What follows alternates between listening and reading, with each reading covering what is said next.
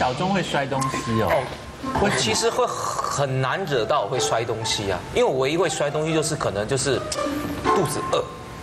对，然后昨天就对他唯一有一次摔一次东西，就是因为我要录影之前就突然很饿，然后之前大雄都会帮我买什么巧克力什么的，吃个什么巧克力我就觉得哎很开心这样。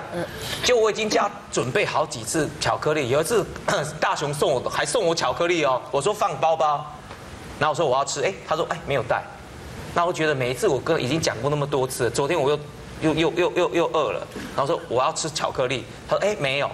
我就摔盘子，说怎么会没有巧克力这样？你为了巧克力摔盘子？哎，可是这个其实还蛮细的耶。对啊，因为你明明知道他知道他要吃巧克力，你干嘛？快要不够了。对对对，然后我还叫那最后当然说，哎，那个贡品应该可以吃。想拿那个贡品，因为已经饿到，因为我已经跟他讲过很多次了。然后就是，所以你是想要看他会不会真的血糖过低死掉，是不是？没有，其实我包包里面有放，可是我每次放的时候呢，他自己都先吃掉。没有没有，我没有先吃掉，其实他都他那几天都不吃。问他要不要吃东西，要不要吃巧克力，什么都不要。然后刚好我可能掏包包，可能整理出来之后东西弄一弄，然后他要那一天没有带的时候，他说我要吃巧克力，我就 你觉得 怎么会这么刚好？你刚开始工作的时候，小钟也有交代说要拿鸡腿便当这件事吗？没有哎，是你自己领悟到，还是你看康熙知道？嗯，是那个前辈有交代下来，所以他离职前有跟你讲说小钟要注意的事项有哪些，是不是？对，类似这样。有吃鸡腿便当，要吃鸡腿便当，两个，两个。哇，你吃两个啊？可是两个，如果害制作单位准备便当少一个啊。可是因为他不吃饭，对啊，他只吃菜，然后跟鸡腿。那你为什么不自己带鸡腿就好了？没有，那个制作单位都有订店订便当啊，为什么不叫？可是有一个是别人要吃的，都会有多。我们常常没有鸡腿，我好几次要吃都被你吃掉啊。怎么可能？他要吃鸡腿，然后没有了，我是连整个便当都没了，因为被你拿走。就拿回来只剩下饭，里面的那个东西已经没了。就我们的命就是专门吃淀粉吃，然后你就是专门吃鸡腿。我们就胖死就好瘦。哎，我不是陈汉典，你不要这样对我。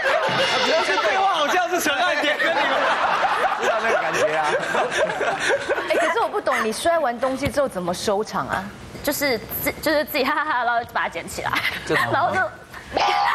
就是因为我觉得也不好意思啊，因为她毕竟是女孩子啊，是不像大雄还是还可以比较，对凶她一点，凶她一点，女孩子就算了。大雄也是女的。他都离开这个工具，你还离开 离开了。郭彦军，你对你你对于你的助理有抱怨，是说你问他什么他都不知道，对不对？就常常会问他过几天的事情，然后他会说哦好，那我再联络看看。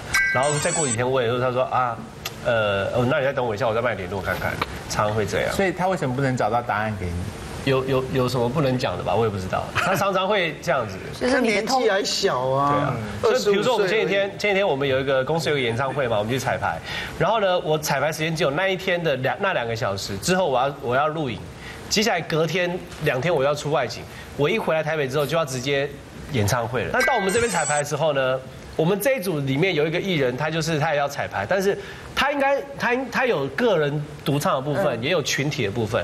那我的部分就是要踩群体的嘛，那他的部分就各唱。那我就跟他讲说，那你可不可以去跟他们讲说，我们先踩群体的，他个人的部分后面再彩排。对。那我就很生气，是因为然后他又在跟公司另外一个同事在那边在那边玩啊，在那边，我就很生气。那我的用意其实是，我需要的是我要走到位，我不是说你要去问问看。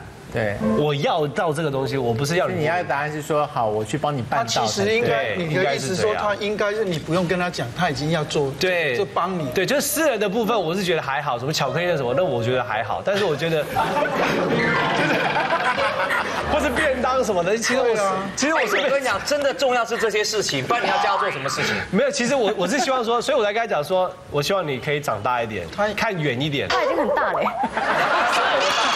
我说处事。处事方式，把巧克力放在他身上。那 请问最后你有彩排到吗？没有彩排到。然后我录影，我在外景的可原谅。你有摔东西吗？我没有，没有，没有。我只会捶。我真的很生气的时候，我只会捶自己大腿而已。然后我就那两天就一直跟他一直，他就一直传，别的艺人在走位，然后老师帮我走位，然后我一直看那个画面对音乐这样。所以你没有走位。有有，然后我第二天回台北的时候已经是晚上十一点半了，再到巧巨蛋再去彩排，那天就踩到两点多。所以为什么你当时不帮他沟通好啊？没有，因为其实那边的辈分全部都比我高，然后我就是你可以抬出另外一个人来啊。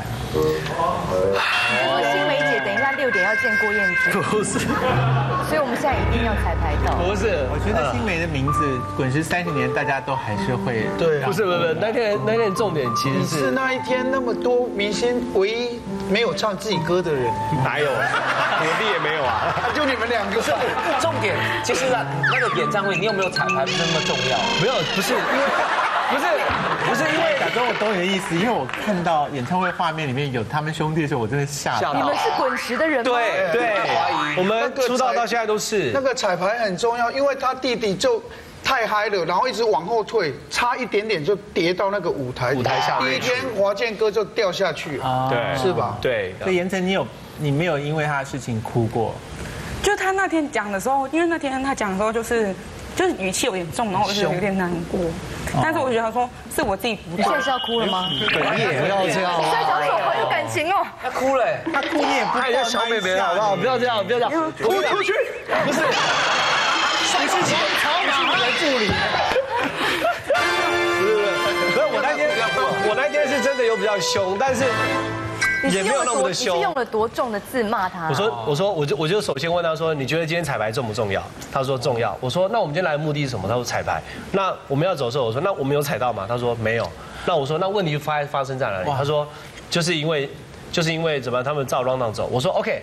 那前面也有一些大哥其实到了就直接彩简单啊排了，你懂我这？样听很简单，就是你的辈分不够，他的辈分不够。那大家都同公司的，那我就说，那你可不可以跟他讲说，我们先那其实你就跟他讲啊，既然是同公司是好朋友，对啊。